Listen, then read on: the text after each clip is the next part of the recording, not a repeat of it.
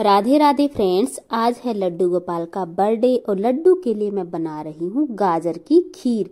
गाजर की खीर बहुत ज़्यादा टेस्टी बनती है और बहुत ही कम टाइम में ये बन के हो जाती है रेडी तो यहाँ तीन से चार गाजर की खीर अच्छी खासी बन जाती है। तो मैंने यहाँ पे ना तीन गाजर ले ली है। सबसे पहले गाजर को अच्छे से छील लेना है। तो आप अपनी फैमिली के हिसाब से गाजर की क्वांटिटी यहाँ पे ले सकते हो।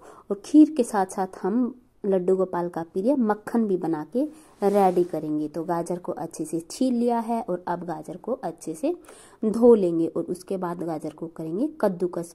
और हाँ आपने आज की वीडियो को बिल्कुल भी स्किप नहीं करना है।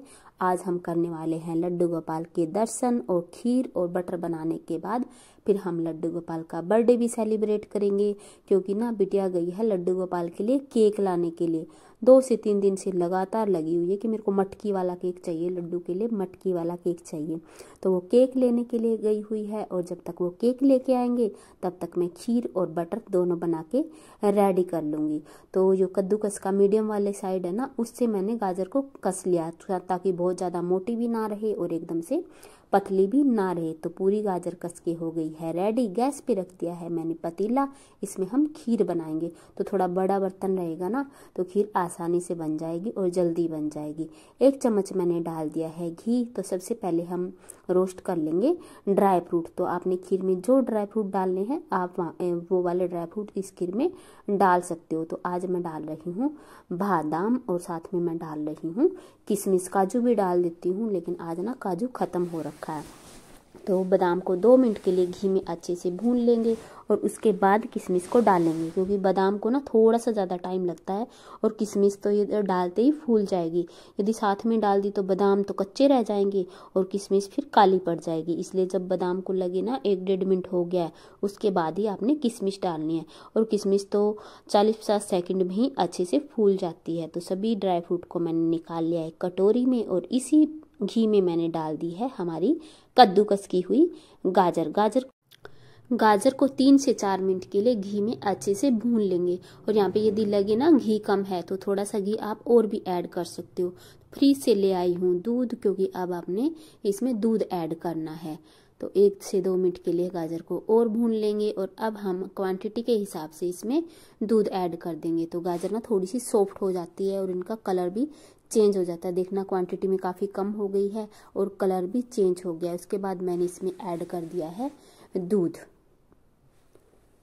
तो जितनी आपने गाजर ली है, उसी हिसाब से यहाँ पे आप दूध की, दूध डालेंगे। बाद में हमें लगे कि ज़्यादा गाढ़ा हो गया है तो हम बाद में भी ऐड कर सकते हैं। तो यहाँ पे इतना क्वांटिटी का कोई बहुत ज़्यादा इशू नहीं है। तो चावल की खीर बनाने में बहुत ज़्यादा टाइम लगता है ये गाजर की खीर ना बहुत जल्दी बन के रेडी हो जाती है। दस मिनट में ये रेडी हो जाएगी। तो बीच बीच में हम इसको चलाते रहेंगे और अब बना लेते हैं।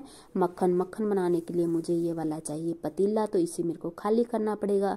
तो दूध को मैंने ट्रांसफ़र कर दिया था दूसरे बर्तन में। इस पतीले में ना मेरे से ईजी बन जाता है, इसलिए मैं थोड़े से बड़े पतीले में बटर बनाती हूँ। तो बटर ना पहले मेरे दिमाग से निकल गया कि बटर बनाना है। अभी मैंने फ्रीज से निकाला तो एकदम से ठंडा था। यदि बटर बनाना हो ना तो सुबह ही निकाल देती हूँ और जब तक काम कुम करके ख़त्म होते हैं, तब तक इसका टेम्परेचर एकदम नॉर्मल हो जाता है और आधे से ज़्यादा बटर तो अपने आप ही निकल जाता है। फिर बहुत ही कम मेहनत लगती है। तो आज फिर मैंने इसमें हल्का थोड़ा सा ना गर्म पानी भी ऐड किया ताकि इसका टेम्परेचर थोड़ा सा सेट हो जाए। और हाँ यहाँ पर मैं आपको एक बात बता दूँ, मैं ना जो मलाई इकट्ठी करती हूँ, दही की मलाई इकट्ठी करती हूँ दूध की मलाई इकट्ठी नहीं करती हूँ, क्योंकि दूध की मलाई तीन से चार दिन के बाद ना उसमें फिर स्मेल आने लगती है, वो ख़राब हो जाती है।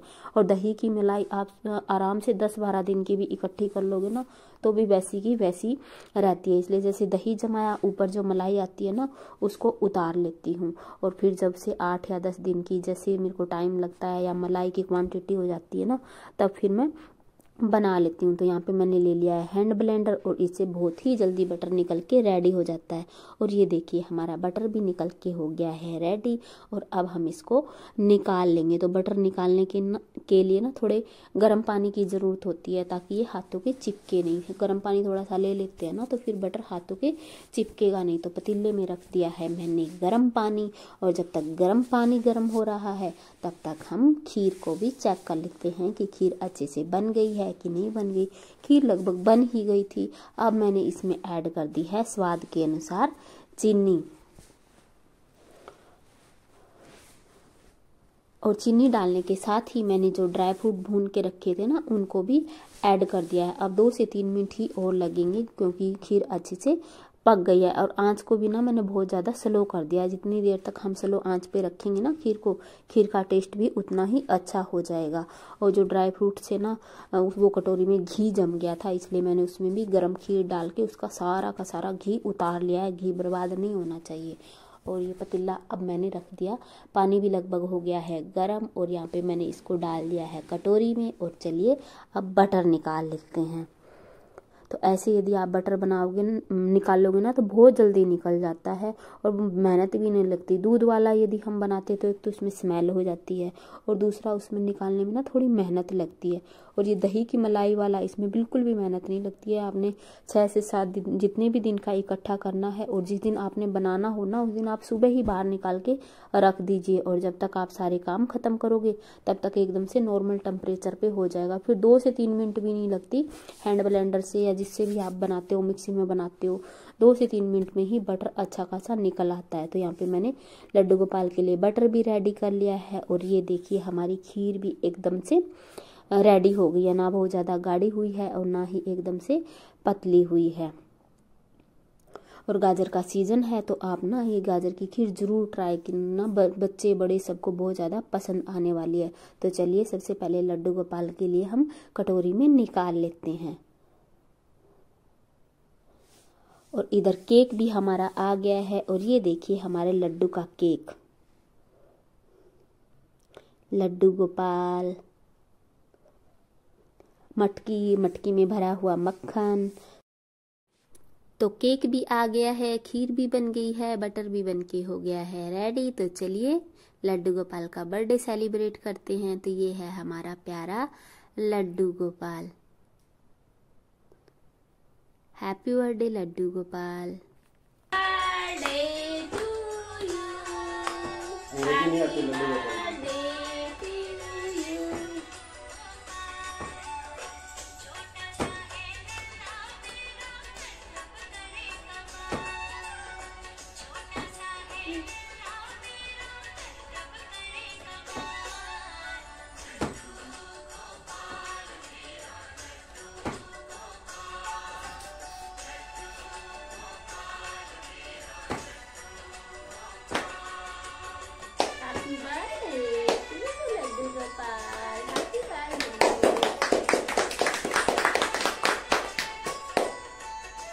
जन्मदिन मुबारक लड्डू गोपाल